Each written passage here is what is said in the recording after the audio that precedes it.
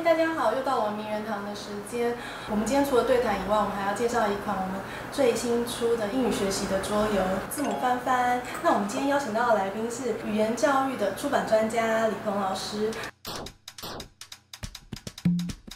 好，那我简单来说明一下这个游戏的基础玩法，里面有二十六张不同的这样子的动物卡牌，这下面都有难易度的分别，它有分橘色的叶子。蓝色的叶子，然后也有紫色的叶子。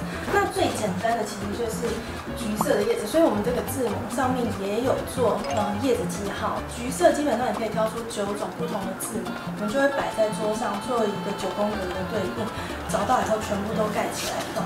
怎么玩呢？翻开一张动物卡，譬如说我今天翻到这个是什么？seal，seal，好，那我们等一下就要来拼用游戏来学单字，就由我来开始。如果翻到跟这里面有相同的话，我就可以继续翻。OK，我可以再翻一个。哦，一遇到一个没有出现的时候，破了要盖回去，就换老师来翻这样子。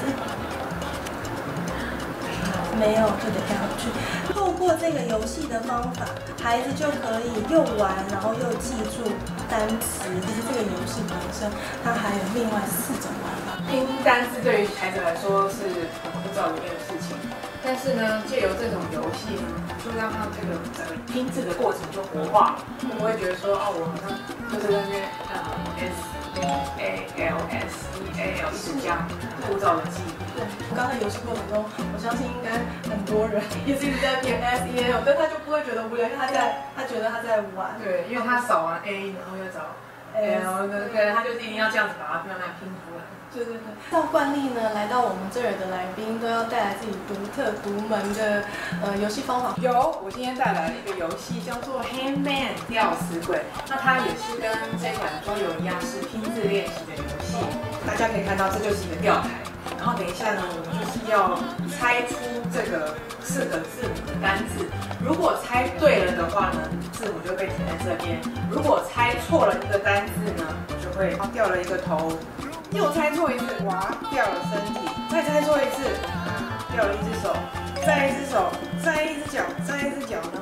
五次机会，要是都没有猜对这个单字的话呢，那机会就用完了。对，那要怎么样跟我们的游戏做结合呢？因为这一款桌游呢，里面已经介绍了很多动物的单字，黑面就是一个很好复习单字还有拼字的机会。是，这个单字里面一定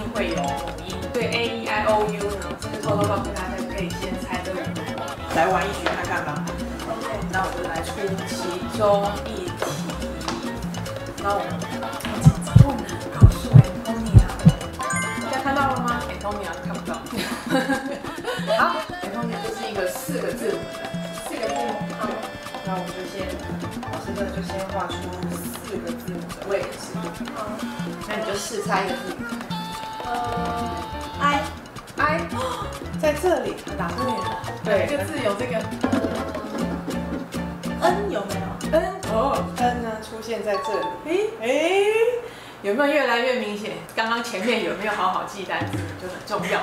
有没有 S？S，没有，没有，对，啊，你呢？要被掉了一个头。哦，有没有？L，L，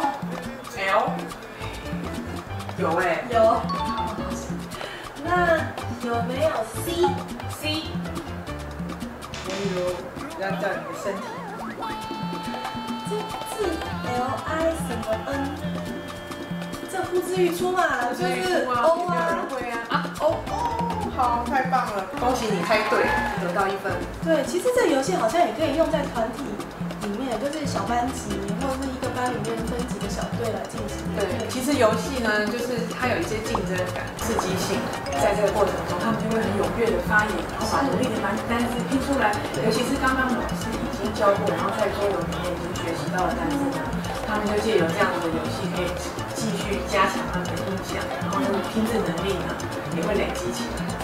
游戏过程中，嗯，孩子会非常的印象深刻的是他这个刺激的过程。所以，如果他在记忆游戏里面，他一直猜错或猜对什么单词的话，他回家再回想的时候，正确的单字就很容易被他记住。